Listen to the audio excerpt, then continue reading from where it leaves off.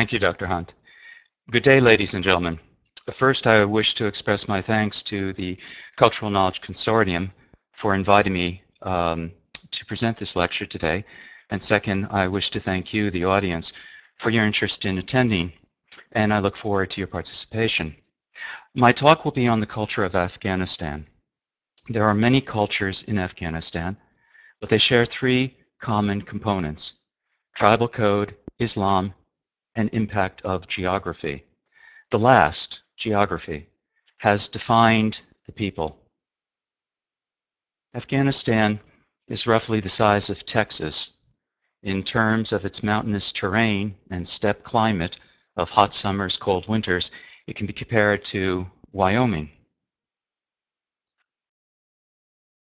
Afghanistan is divided by the Hindu Kush Mountains. These mountains first divide the country in half diagonally, and then divided again into two concentric circles.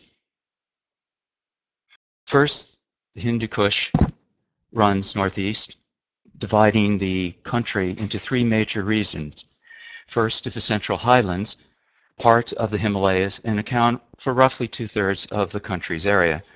The southwestern plateau accounts for another quarter of the land mass, and the third, the smaller northern plains contains the country's most fertile soil.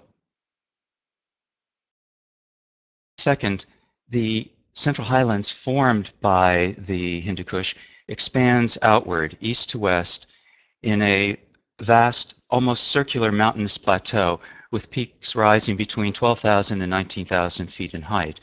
There's a little humanitarian here. Excuse me. Historically, it has served as a sanctuary for the ethnic Hazaras. Most Afghans live in settlements, cities, towns, villages that encircle the plateau. So here we have a topographical physical map of uh, Afghanistan. You can see the Hindu Kush first divides north, east, southwest, then the expansion in the central highlands, the northern area being the uh, fertile area of the country, and the south and the southwest being the desert. And the human habitation will be confined around this central plateau. To give you an idea, here's a view of the Hindu Kush among the world's highest mountaintops. Here is a view of the Hindu Kush from the valley in the city of, the capital city of Kabul, lying in that valley. Like the Central Highlands, the south and west of the country is also sparsely populated. The area is part of the Registan Desert. Registan uh, is a Persian word meaning land of sand. And this is a sand that is very different from what most people are familiar with in the West. It is almost as fine as talcum. So here's an example of uh, motorized vehicle sinking into the sand. Uh, the talcum is so fine, it gets into the motors, gets in gas tank, gets into the goggles, even if you put uh, extra protection by taking, say, wet cloth and inserting it around the goggles to try to give an uh, uh, adhesive quality. So there's very few uh, habitation there. But in this region, it is noted for what's called the wind of 120 days. It's a northerly wind that blows across the western and southern regions of Afghanistan during the months of June through September. The wind is accompanied by intense heat, drought, and sandstorms. Dust and whirlwinds occur during the summer months in the flat southern parts that we're just looking at, and the storms rise in the early afternoon and could achieve a velocity of between 60 and 110 miles an hour. So an example. Here is a dust storm, sandstorm. Looks like from here the, the size of a mountain as it's approaching the military base in uh, southern Afghanistan. Now this is an aerial view from satellites by NASA, Aqua, and Terra, showing you the full extent that some of these uh, sandstorms uh, can achieve. This is the border of Afghanistan with Pakistan. Here's Afghanistan, here's Pakistan, and the whole southern area engulfing Helmand and Kandahar province is experience uh, sandstorm, a fundamental, uh, phenomenal rather, uh, size. This is the Afghanistan's fertile uh, northern plain. Afghanistan, as you can see, has is vulnerable to drought because it only has four principal rivers. You have in the north the Amu Darya, in the uh, west you have the Hari Rud, and in the southwest you have the Helmand. In the east there is the um, Kabul River. Now, only 12% of all of Afghanistan is arable. And that area is dependent on winter snows and spring rains for the water. But it employs 79% of the labor force. Now, what is the impact of geography on the uh, Afghan cultures?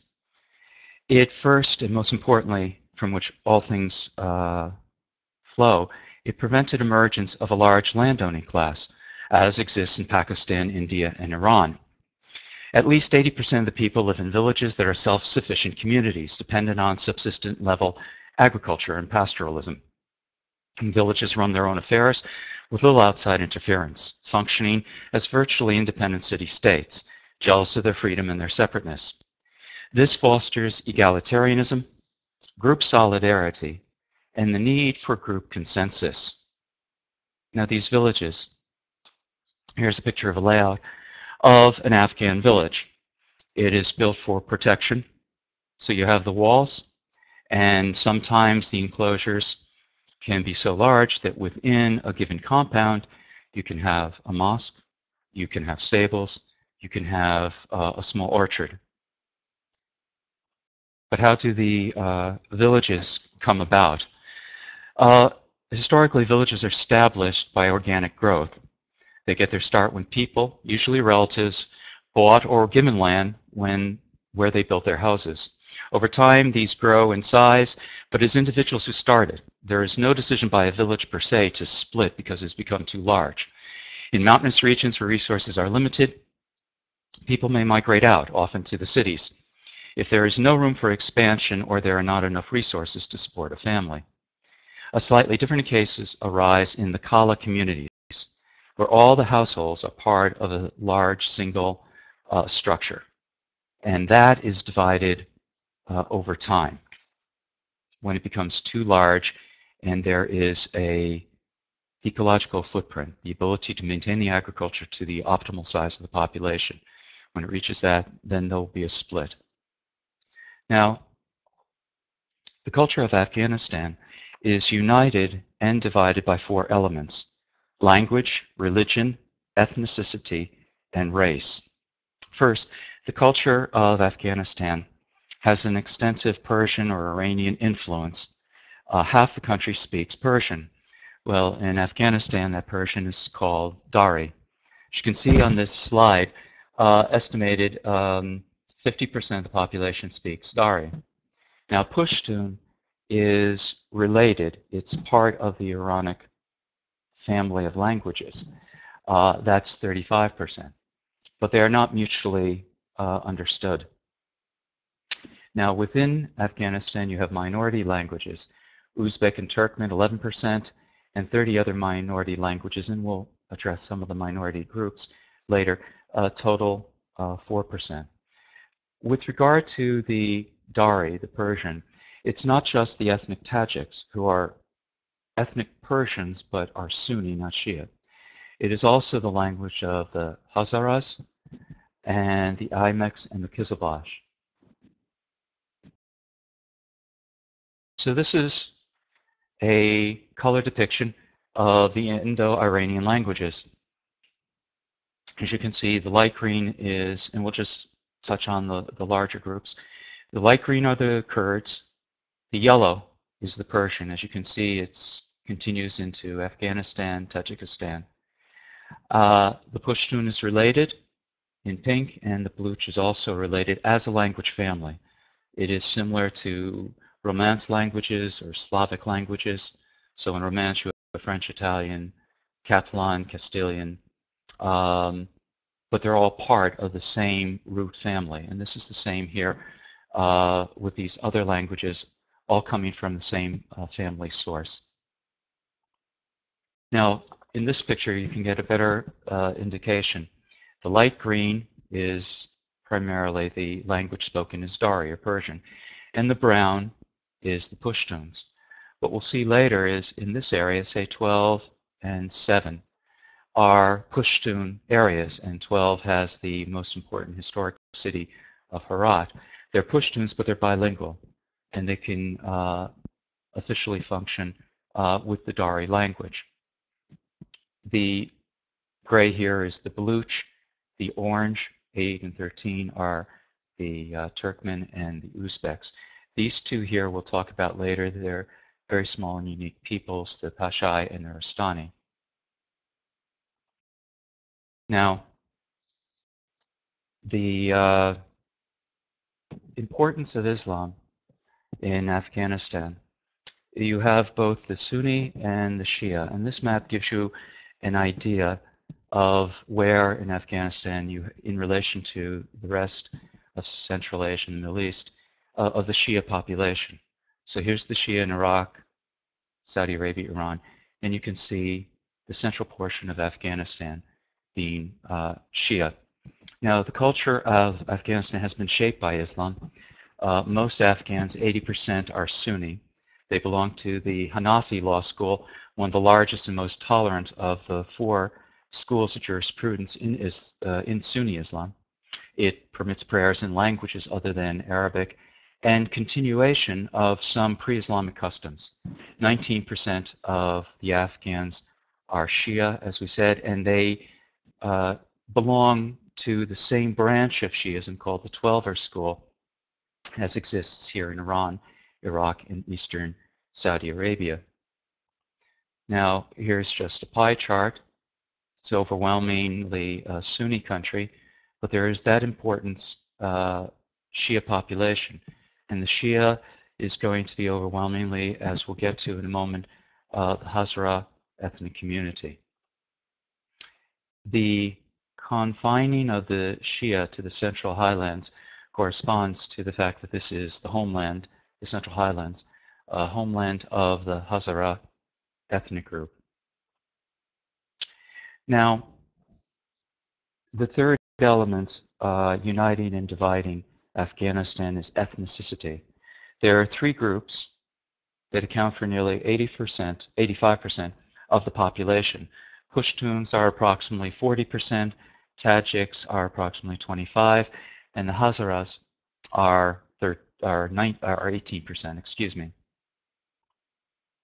There are two major uh, physical types in Afghanistan, two racial groups. The majority, 72%, are Iranian, uh, Eastern Mediterranean in appearance. So they are Pashtuns, Tajiks, and Baluch.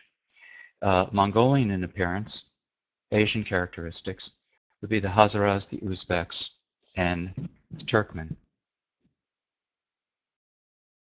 Now this is just a picture, uh, next couple of slides, of what the people actually uh, look like. Here are their characteristics, Pashtuns. Here are the characteristics. Tajiks. And here are the Hazaras. Now the Hazaras, like the Uzbeks and Turkmen, as I mentioned, have Mongolian features, but they are Shia, and they have experienced racial discrimination and religious persecution historically. Many Hazaras were slaves until the final emancipation laws that only took place in the 1920s. In their in addition to their declared objective of destroying the idols, the Taliban destruction of the Buddha statues at Bamiyan was also an attack on Hazara cultural identity. For the Hazaras, who are devout Muslims, the Buddha statues were not idolatry, they were part of their history, separate from uh, any religious connotations, part of their patrimony. So they viewed it uh, as a deliberate attack by the Taliban um, to erase part of, of their identity within Afghanistan. Now, Afghanistan, there are also several groups that are not based on ethnicity. Their names are umbrella terms. So one is the Aimaq. It's a Mongolian term meaning tribe. Uh, they constitute four separate nomadic groups. One is the Mon uh, Mongol group, which is uh, the Timuri, and then three Iranian groups, the Taimanis, the Firozkohis, and the Jamshidis. Now, the Aimaqs are uh, Sunni, and oftentimes uh, is uh, they are counted along with the Tajiks as one group. Uh, and they prefer it that way. They do not want to be mistaken for the Hazaras, because even the Hazaras, despite the laws, are still not accepted. They're still looked down socially by many tribes, and the Aimaqs don't want any mistake for being considered Hazaras because of, of some of their appearances, and they, if they have to identify, they identify with Tajik. The Kuchi is a word that you might have uh, heard. Uh, it's a Persian word meaning migration. It again refers to nomads. These were used uh, during the wars, uh, the Soviet wars and then the uh, Taliban wars, because as nomads, they were a great source of intelligence, moving around, getting close to encampments, getting close to uh, cities, and being able to uh, provide intelligence to whoever their sponsor was. The, Kuchi, the Kuchis could be both Pashtuns or Baluch. And the saying is, uh, all uh, not all uh, Kuchis, um, see, not all Kuchis are Baluch, but all Baluch are Kuchis. So the Baluch is overwhelmingly a, a nomadic uh, community, but there is that small minority within the Pashtuns that are not settled and are also nomads that fall into Kuchi uh, label. The Nuristani, again, it's an umbrella term. It is a designation for 35 separate groups. Uh, they speak six languages, none of which is in a written form. Uh, they number about 100,000 to 150,000. They're in the uh, far uh, northeast of the country. There are different theories uh, that have been proposed as to their origins, including that they are the original inhabitants of this land predating the arrival of the Pashtuns, or that they are the descendants of the army of Alexander the Great. Physically, uh, these Afghans resemble Europeans standing apart from most other uh, Afghans by having often uh, blonde or red hair, blue or green eyes, and fair skin. So here's a picture of the uh, Nuristanis. Uh, they were the first to uh, fight the Soviets in the Soviet uh, invasion and occupation. Even historically, they have, uh, uh, before that, a, a reputation of uh, fierce warriors. Now, Afghanistan is a non-European tribal society and the concept of nationalism, which you often hear applied in various forms uh, to the Afghan situation currently, uh, has limited applicability. Uh, nationalism that we're talking about is time and place specific to 19th century Western Europe in the beginnings of industrialization. Now the Western concept, this nationalism, has two traditional models, uh, France and Germany and uh, they are not applicable to Afghanistan. Let's go. In the French model, uh, the Revolutionary War 1789, the revolution and subsequent revolutionary wars, uh, the French within the country, which was the north part of the country, uh, sought to integrate, assimilate French, uh, Francophone, Francophi rather, uh, all the other groups in the country. These include Bretons and Basques, Dutch, Germans, Italians, and the entire South is Occitan.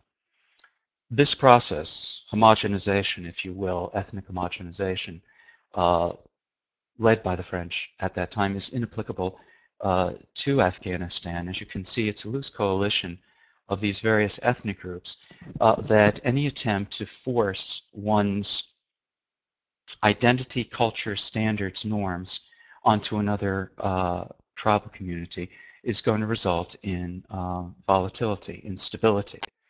So the French model doesn't work. Often you hear proposed the German model. Uh, the German model was you had a German nation that was divided among several uh, independent states. So you would unite all those states into one state and, thereby unite all the Germans in that one state. Well, here you have the Pashtuns divided uh, by the Durand line between Afghanistan, where they're 40% of the population, and their sizable population in uh, Afghanistan, in the north uh, west frontier province region. You also have, over the borders, uh, Turkmen and Uzbeks, and especially outside of the Pashtun, the largest group, uh, with a large co-ethnic group outside, is um, the Tajiks. Interestingly, there has not been any serious movement of secession, of Turkmen wanting to leave Afghanistan and unite with Turkmenistan. Uzbeks, no serious movement there, wanting to leave Afghanistan and become part of Uzbekistan, nor among the Tajiks. Now, in the issue of the Pashtuns, uh, what is different here is that it is considered a decolonization issue. Um, the unification of the Pashtuns in Pakistan with uh, Afghanistan is, yes, by the Pashtuns considered as part of a, a national uh, regrouping, unification. Uh, but it is also seen by the Afghans, whether Pashtuns, Tajiks, Turkmen, Hazaras, as part of uh, the ending of decolonization struggle. Because the country functions as a loose coalition, uh, increasing the size, including the numeric size of Pashtuns, pose no threat to these other regions, theoretically and historically, uh, because they're self-sufficient and function virtually independently of the others.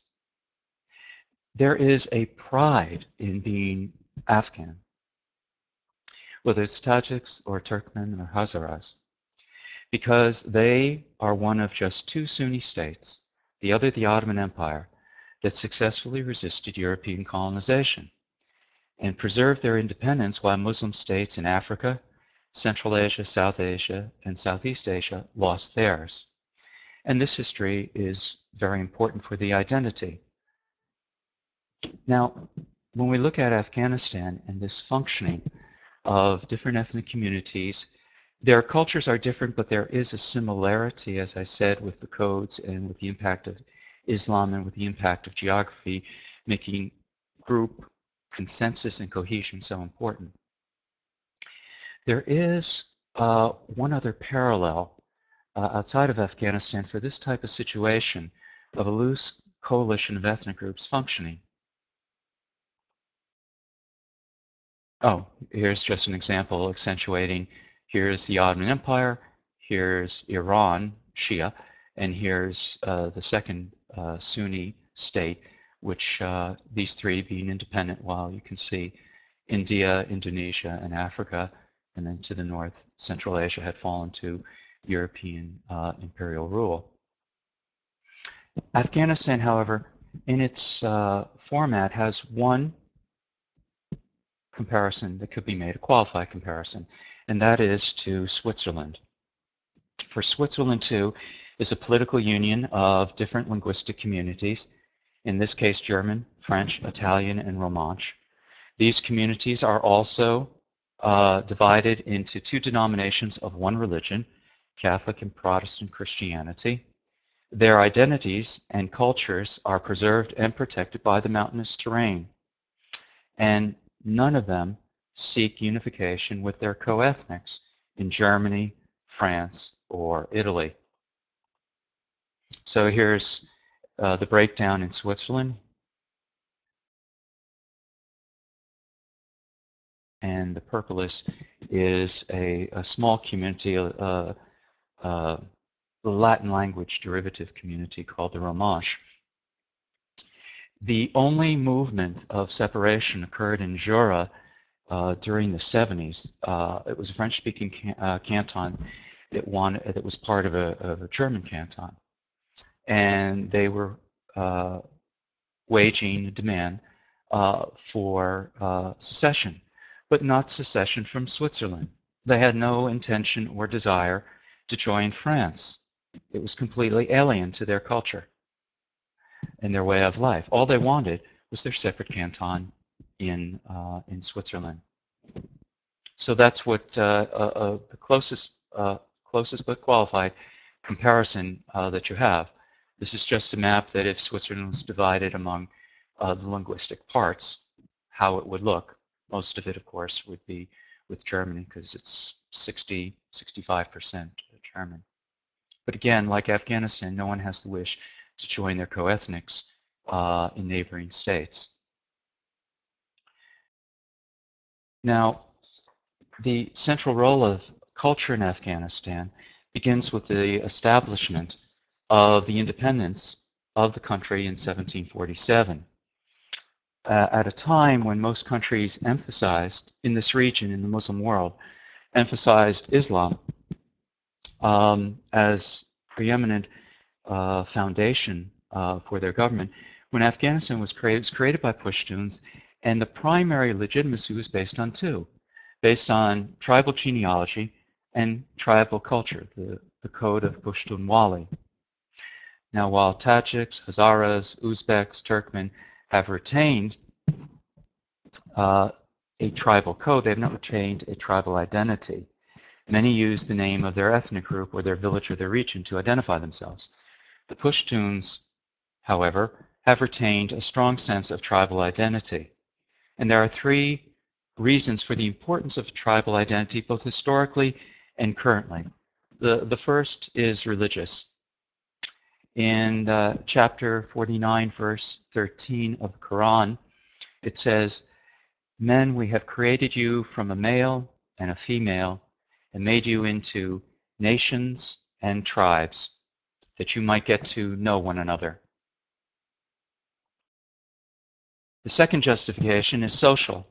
Belonging to a tribe means uh, being of a distinguished ancestry, uh, ancient ancestry, belonging to a general people, having an identity and a place and a history. It offers a network of obligations, but it also provides a network uh, of protection. And the third justification of tribal identity, just on the individual basis, is uh, survival through this group membership. Now, in Afghanistan, the uh, importance of Pushtun belief of belonging to one huge kinship group uh, provides its members with uh, the four things that I think are important. I just want to repeat. Uh, protection, history, status, and place. Now, the Pashtuns themselves are divided into two tribal confederations. The Durrani, which is in western Afghanistan, and the Ghilzai, which is in eastern Afghanistan. Now in this map, the light blue, going from Herat, Kandahar, Kabul, are the Pashtuns.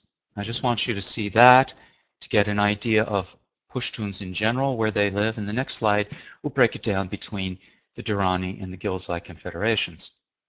Now the light green in the east, uh, in the west, excuse me, is the um, Durrani confederation, and the yellow is the Ghilzai Confederation. Now these two tribal confederations are in turn divided into four principal tribal groups. These are the Sarbans, Batan, Gargash, and Karlans. These names are derived, of the tribes, are derived from the names of the four sons of the uh, mythical founder of Pashtuns called Qais Abdur Rashid. the Pashtuns believe that they are one of the lost tribes of Israel and that their founder, Qais Abdur Rashid, was the 27th descendant of uh, King Saul. Now this next slide is a diagram of these Pashtun tribes with their affiliate clans, which appeared in the May-June 2008 issue of Military Review Command and General Staff College.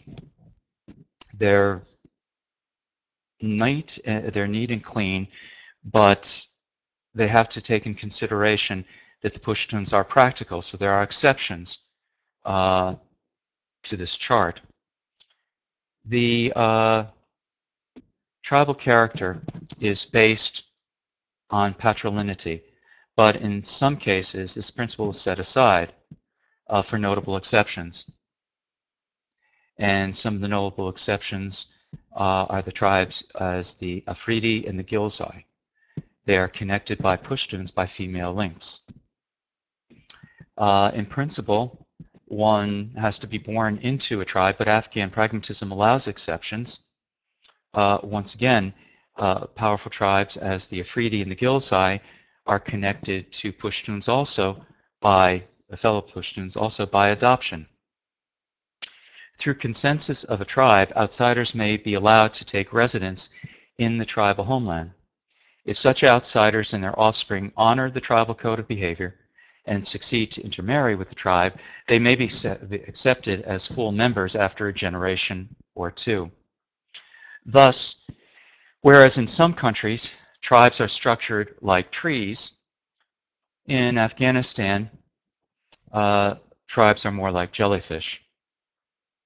Therefore, the system of government is seldom found in full force. That uh, diagram uh, from the uh, Command and General Staff College.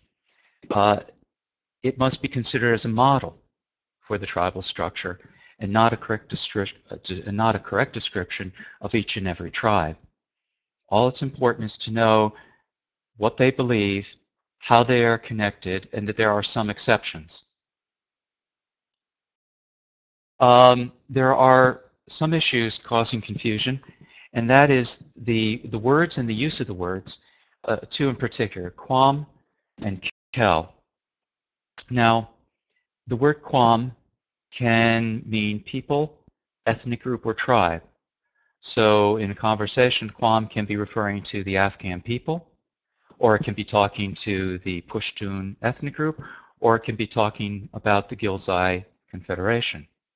It depends upon the context of the speaker. Uh, a subtribe or a clan is called a khel. It gets a little confusing because any tribal unit can be seen both as a tribe or a subtribe at the same time. And so you would have a group called a quam or called a khel simultaneously. Again, it's the context and the familiarity uh, with the tribe that can help uh, to clarify the issue. Uh, a tribe or a subclan of a khel, a subunit of a khel is also called a khel, uh, and that goes down to the village levels. On a rare occasion, some khels have become uh, tribes in their own right, have been elevated to that status, uh, such as the Suleiman Khel. These are just exceptions, as there are in any rules. Um, they're just made to uh, need to clarify a situation that the, the paradigm, the, the template of how the tribal structure exists is legitimate, but it does have these qualifications. And some confusion can be minimized by realizing how the context of the word quam and khel within the culture is uh, used. Now, tribal culture functions according to the Pushtunwali and the narkh. Now, the Pushtunwali uh, is the foundation of Pushtun culture and may be translated as the way of the Pushtuns. It is an oral code that dates back to pre-Islamic times, but its practices do not contravene the principles of Islam. The main tenets of Pushtunwali are, and it's like common law, it keeps on growing, uh, Melmastia, which is hospitality, Nanawatai, which is asylum, Badal, justice, Tura, bravery, Sabat, loyalty, Imandari, righteousness, Istiqamat, trust in God, Gairat, courage, Namus, protection of women, Nang, honor. An example of Pushtunwali is the 2005 case of Navy SEAL Marcus Luttrell of Operations Red Wings. He was part of a four-man surveillance and reconnaissance Navy SEAL team dispatched to the Pesh district of Kunar province that was ambushed. Luttrell was the sole survivor. With broken back and numerous shrapnel wounds, he evaded the Taliban by taking sanctuary in a local village. Under the code of hospitality, Melmastia, the Pushtun villagers protected him, eventually sending an emissary to the nearest U.S. base to secure his safe uh, departure. How Pushtunwali is enforced is by narkh. Narkh uh, may be translated uh, as price. It's tribal, tribal customary law and refers to centuries-old body of unwritten rules and regulations based on precedent for dispute resolution.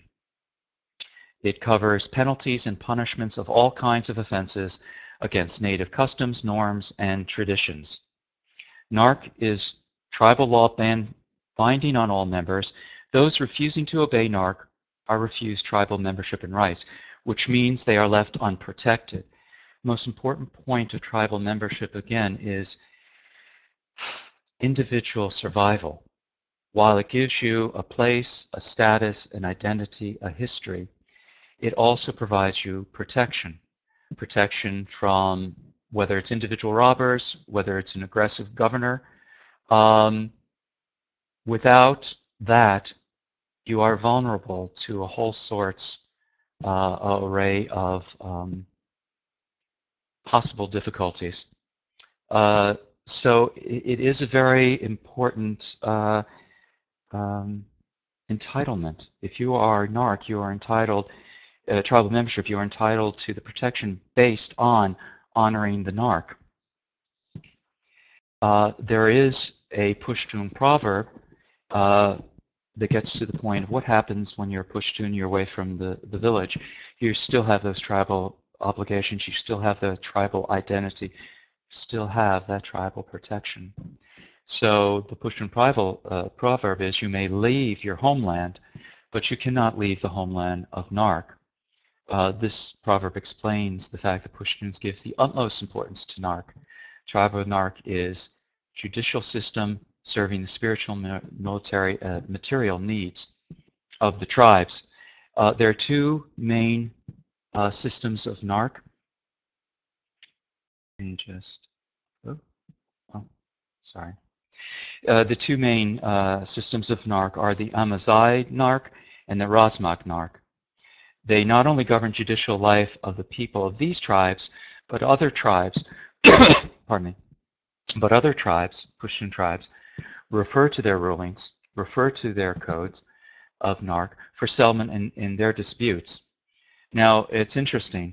The Ahmadzai Narkh extend from Ghazni to Nangarhar in eastern Afghanistan, including uh, provinces of Pakti and Logar. That's the homeland of the Ghilzai. The Razmak Narkh is enforced across the border in Pakistan's Northwest Frontier Province, Pushtun lands in Waziristan and its surrounding areas. Again, Ghilzai. They are the ones that are the preservers uh, of the narkh and the ones that are uh, their system used by other Pashtuns. Now, the characteristics of um, the Afghan culture, uh, of an Afghan family, I should say, are that it's endogamous, it is parallel cross-cousin marriages are preferred, usually first cousins. Its patriarchal authority is vested in the uh, male elders. Its patrilineal inheritance genealogy passes through the male line, with that exception that I referred to earlier. Um, that the uh, Pashtuns are flexible, are pragmatic, and in conditions both uh, female line and adoption, uh, tribes will be considered legitimate Pashtuns, even if they don't follow this uh, particular characteristic. Patrilocal. When the bride marries the groom, she moves to the groom's family and severs her tie with her family. She's not considered part of that family. She's now part of the groom's family. Uh, polygyny is polygamy. Multiple wives are permitted, but it is not uh, practiced uh, very much. Now, the features of the Afghan family. The first is that the Afghan family is the, uh, the extended family. And this is the major economic and social unit of Afghan society. They contain three to four generations, including the male head of the family and his wives, his brothers and their wives and children, his sons, their families, his cousins and their families, as well as all unmarried and widowed females. Now, the nuclear family are commonly geographically grouped within the extended family. And they, nuclear family, includes elderly grandparents and single or widowed aunts. Uh, the extended family is usually epitomized by some type of residential unity. They reside together in either a valley, a village, or a single compound. So this is a qala, a residence of an extended family.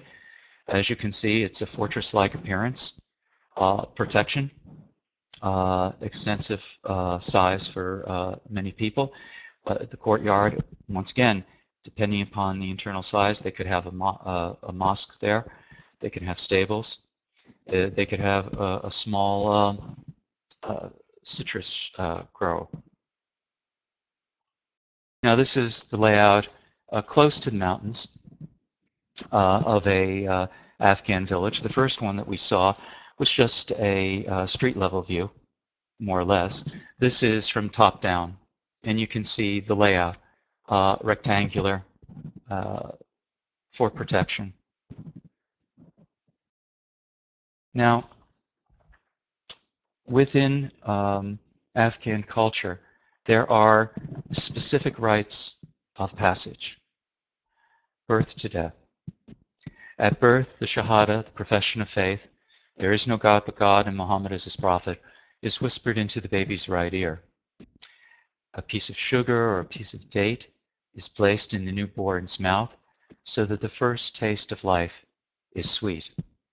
Baby boys are uh, circumcised within a week of birth a baby's head is shaved on the seventh day to symbolize service to Allah. The family weighs the hair, and then, if they're able, financially, they donate an equal amount of gold or silver to charity. On that seventh day, the name is given to the child, and a feast, akika, is held to give thanks.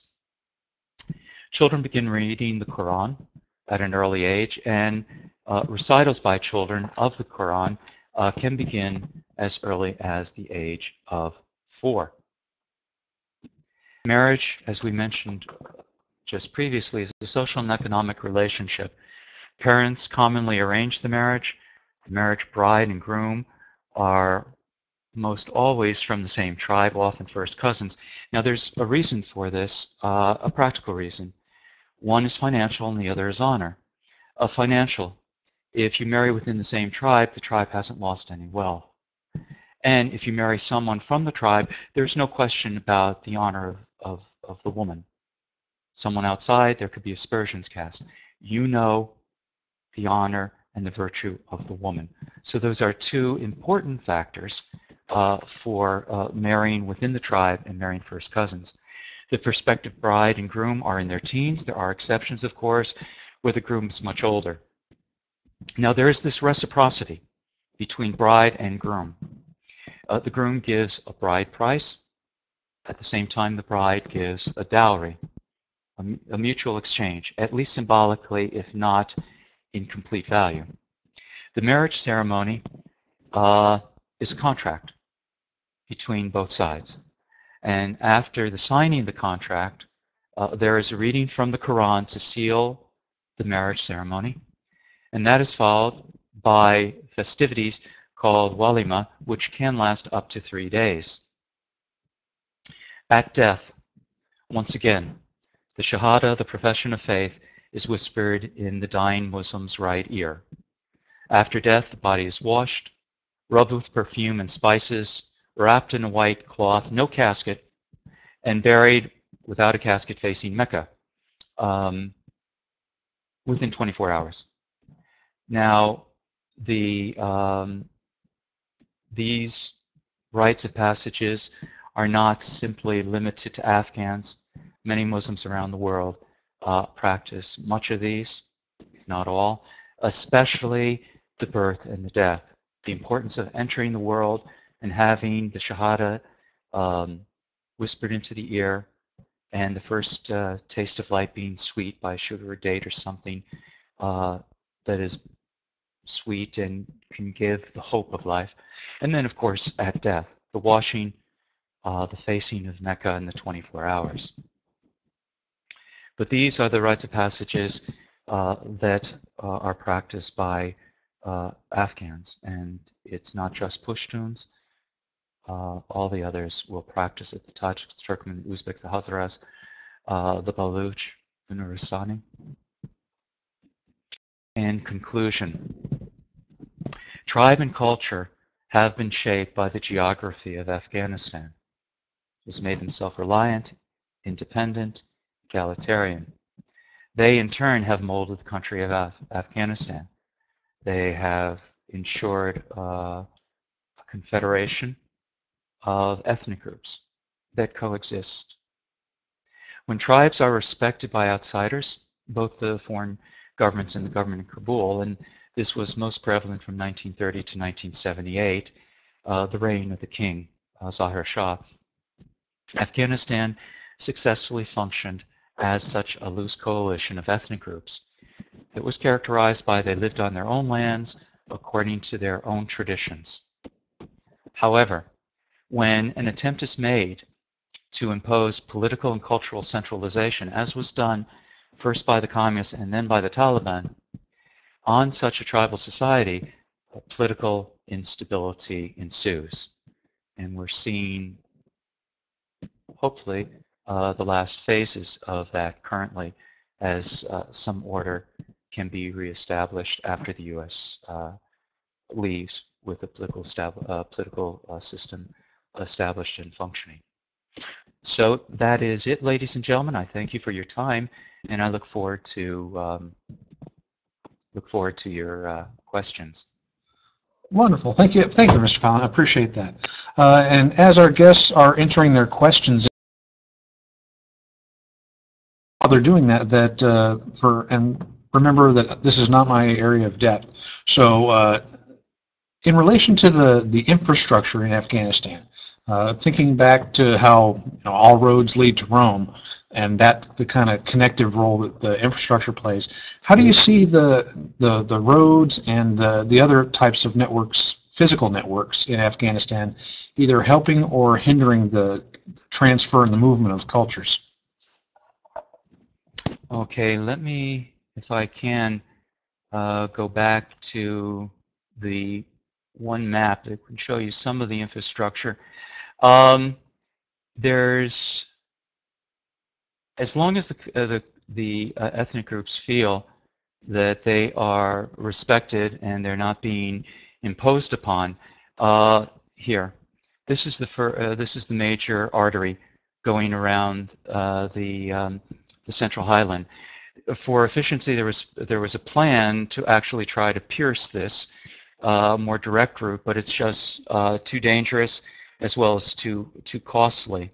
Um, there is a road being built by China uh, in the northeast going through the Wakhan corridor. This was considered most impractical or almost impossible, but their uh, plans on doing it. They had acquired uh, one of the world's largest, uh, I believe it was copper mines, so they're going to export, uh, uh, exploit the mine and uh, ship it out and want to have access into China directly. The problem, potential problem, is it also gives China uh, military access. Any road that can be used as converse can often be used uh, for military purposes as well. That's what happened with Uzbekistan uh, over the Friendship Bridge. The Soviets built uh, into Afghanistan. Uh, that road was great to uh, facilitate um, the economy, the local economy.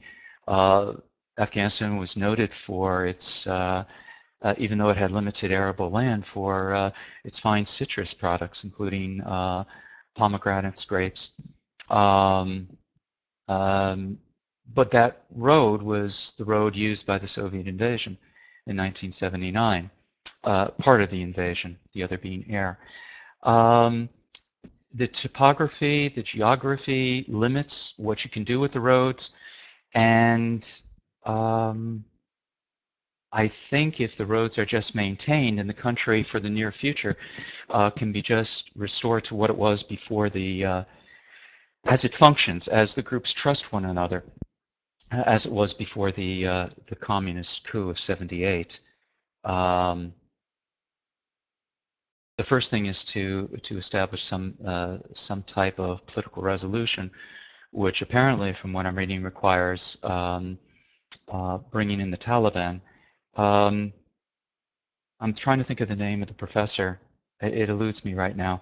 Uh, he's a sociologist who has studied uh, the area and said that there's so many groups that are saying they're Taliban. Uh, some don't even recognize Mullah Omar as their leader. Uh, it is just a name uh, to indicate rebellion. That if uh, if there was an election and they participated, there would not be one Taliban bloc. They would be falling apart um, according to uh, tribal and personal differences. Um, so right about now, the, the transportation system, it could be restored to what it was uh, before the Soviet invasion and take that as the starting point, that would be ideal. Okay, great.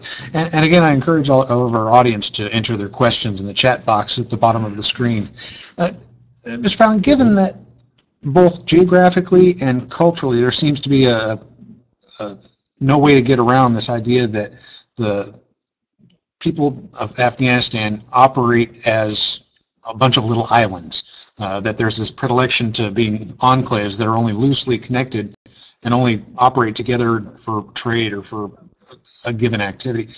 Do do you see that there is any sort of commonality that can be elevated so that for lack of a better phrase, that does can Afghanistan actually function as a country? Well, it has functioned as a country um, most of the time.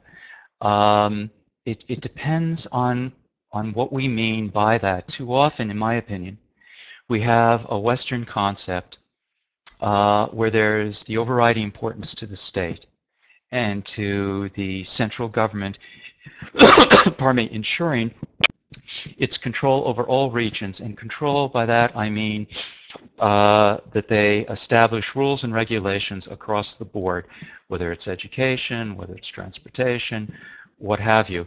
Um, and in a tribal society, in my opinion, that's not going to work. It's like apples and oranges. You have an industrialized, highly educated society, and then trying to take that model and put it onto a tribal society uh, the tribal society worked, and I feel that you should first, one should first look at how it worked, why it worked, and then try to ensure that after these 30 odd years of on again, off again wars, invasions, occupations, warlords, uh, that it could be reestablished and allowed to function and have an organic growth. Uh, if there are going to be changes, the thing that I thought was was a possibility, uh, was uh, the king, uh, Zahir Shah. Uh, when the Taliban first arose, one of their first objectives, they claimed, was restoring the king. And the importance of the king was he was also a modernizer. His wife jettisoned the burqa, which was scandalous at the time, which is going back to the 1930s, 40s. Uh, he was a Pushtun, so he had connections to the Pashtuns. He had a good relationship, or at least a working relationship, with the non-Pashtuns. He was well respected, and got along with most of the religious leaders. So he was bent on a Western system. His model uh, was Great Britain, and he wanted to make the country more um, where the king would reign but not rule. Uh, that didn't work out simply because other family members, his cousin who was the prime minister, overthrew him. But if he was brought back, having that uh, having that record of working both with the secular and the sectarian, with the modernizer and with the tribal, would have allowed, in my humble opinion, that the country could have had organic growth. It could have achieved more than uh, being locked in time uh, in the in the 19th century. But if you try to push a society uh, your way, first one has to find out is is when I say your way, I mean our way, the Western way. Is that the best way first? Second, is that the best way for this area?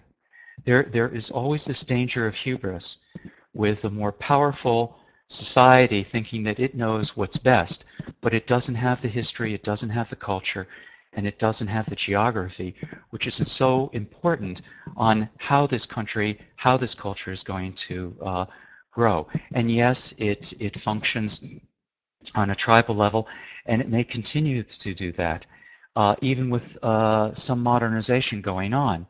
All we have to do is take a look at the rest of the Middle East. Look at uh, Libya.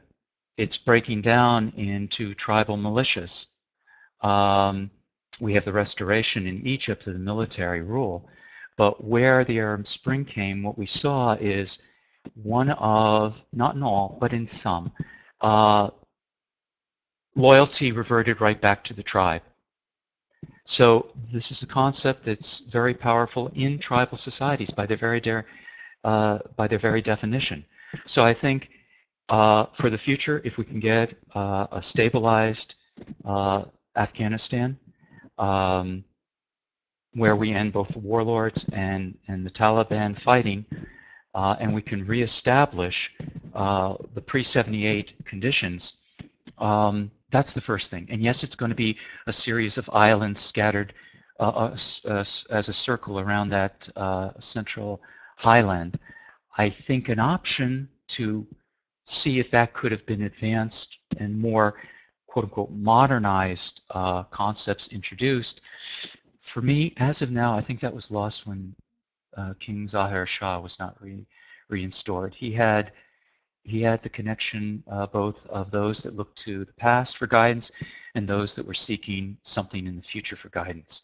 Now, I don't know who could replace him with that authority, and I think what we have to do is just hope that it functioned for 200 years pretty well, uh, it does have crises in Kabul, but the outlying regions do function as those islands. Um, and that's where it could, uh, where you're going to have to uh, base the future on those islands to, to accept them for what they are. Okay, and kind of to dovetail off that, probably just one more question. The it seems very much like uh, trying to have a thing called Afghanistan is very much like herding cats. Uh, and the, the, the king kind of modeled his thought with that tentative balance of reaching to the past and reaching to the future. He modeled himself after the UK or the or Great Britain time, and it seems very much kind of based on on uh, Britain's expeditions into Africa and how well that turned out. Is Afghanistan sort of doomed to continuing uh, repeated attempts to make it a nation despite the the constant pulling apart of sort of the, the south and the west to Iran and then the, the east northeast to, off to Pakistan, uh, are they constantly doomed to just a, a, rotating effort to try and unite what probably just can't be united? What do you think about? Well, I think that um, they are weak in their um, surrounding countries, and Iran uh, will seek uh, to have influence uh, in Herat, in the in the eastern, which at one point was part of Persia, and in the center region with the Hazaras who are Shia. There's a bit of a strain with the Tajiks because they're Sunni. Um, so there will be that pull. And Afghanistan will be used by both Pakistan and India uh, in their own geopolitics. Um, the one interesting thing is at this point, I do not think any country uh, sees its interest being advanced by the breakup of Afghanistan. Um, will it be weak? Yes. Uh, it's just uh, the nature. It is surrounded by uh, significantly powerful uh, countries. I don't think it will uh, be partitioned or break apart, but it's the idea of state is something that is is different for them than than for us. Um, the central government is just some authority that they recognize as to represent them internationally uh, and to have certain rights and duties, but limited. They're not to violate the cultures uh, or the norms. Now, war brings out the most extreme elements of these. Uh, once we see the Taliban saying uh, no education for women or no women able to go out without a male escort, even if they're wearing the full burqa. Um, some of these will be uh, tempered uh, after after the passions of the war have ended. But I don't think that Afghanistan will ever be the state, uh, a, a, state as the West defines. It will be uh, Switzerland. It won't be France or Germany. Um, Switzerland can function fine.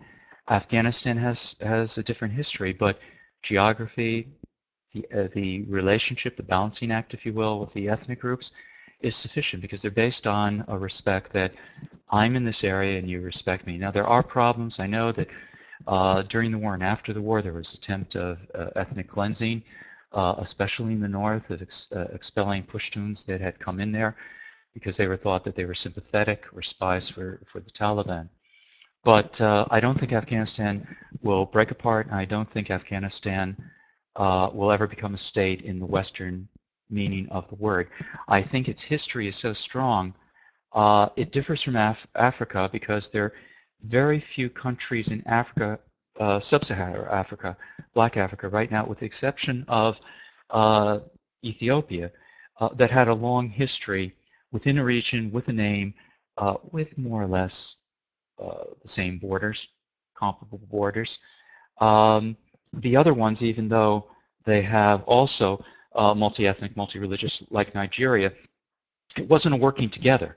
The British took one area and took another colony and put them together. No one asked them. This was a working relationship with the Afghans. The Tajiks, the Pashtuns, the Hazaras, um, it was more agreed upon, and I think that's why it will survive and will not have that difficulty. When the difficulty comes, it will be either two. Uh, a power play for control in Kabul, and uh, after that, an attempt, if it is done, it would be the third time, and it would be a mistake, to have Kabul try to homogenize the culture, modernize the culture uh, of, um, of the country, of the different ethnic groups, uh, by fiat. It has to be organic, and it will be weak and it will be played upon uh, by by other countries. But it will survive. The uh, and, and one last bit, I had asked this of a lot of our guests is, what is your one big thought pertaining to uh, how the impact of geography on the culture of Afghanistan? We'll wrap with that. Could you repeat that again? What exactly? The Sorry. impact of? Uh... Right, the the impact of Afghanistan geography on the culture of this thing we call Afghanistan.